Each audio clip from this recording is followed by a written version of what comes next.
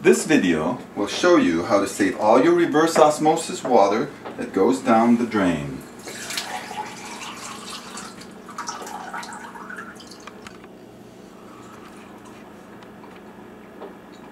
Mmm.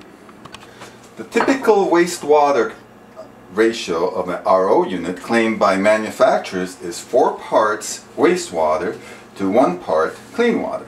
This means for every 1 gallon of drinkable water, 4 gallons or more will go down the drain. This ratio can be as high as 20 to 1 depending on the membrane age and how much back pressure is in the storage tank. This is a block diagram of a typical reverse osmosis. Your house water comes in through this valve into a first stage, which is typically a 5 micron sediment filter which traps sediments and other particulate matters, then goes into the second stage filter. In my case, it's a carbon filter which reduces chlorine taste and odor. And then it goes through this red uh, line here through shutoff valve into the membrane, the heart of the RO system. This semi-permeable membrane will take out TDS and sodium and a wide range of contaminants such as perchlorate, chromium, arsenic, copper, lead, as well as much more. An RO membrane will remove impurities, particles larger than 0.001 microns. After this portion, the water travels through a switch valve into a storage tank because we can't have enough when we demand it and will travel through a fourth stage uh, on its way out to the faucet which is typically a VOC filter which removes volatile organic chemicals like the MTBEs, uh, benzene, and the like. The portion we're going to concern ourselves with is this uh, wastewater that comes out, which uh, typically goes out into this drain. And uh, we are going to capture it, whether you have a drip system or a container outside that you capture it and uh, reuse that. This water is of course much better quality than comes in through here because it's gone through this filtration system. This is my uh, four stage RO. There's five stage uh, or other stages. In this case, stage one is in the back, stage two is the middle one, and then it goes into this membrane up here at the top.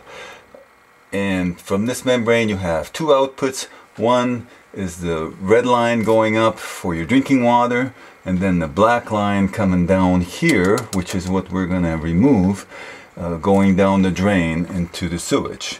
The holding tank is right here which uh, forces it before it goes into the drinking water it goes through this fourth stage. We're going to try to drill a hole at the very top there as high as possible but still have enough of a flow because it's gravity fed that there's no uh, problems of water going down the hill. There's the hole I drilled from the inside.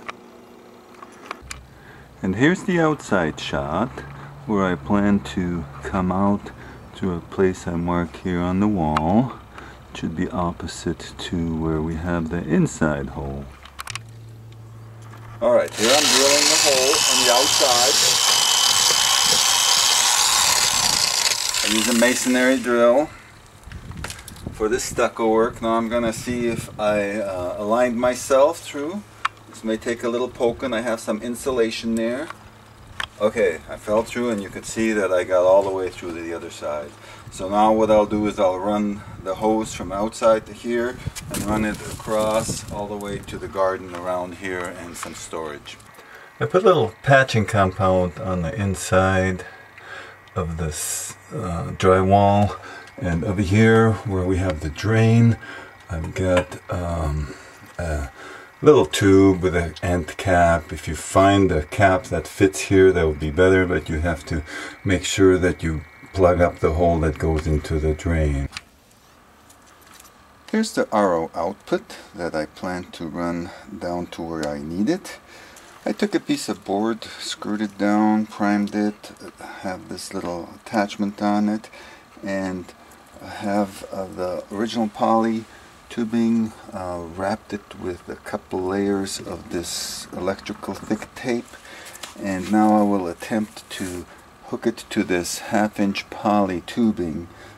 So I have a nice flow out.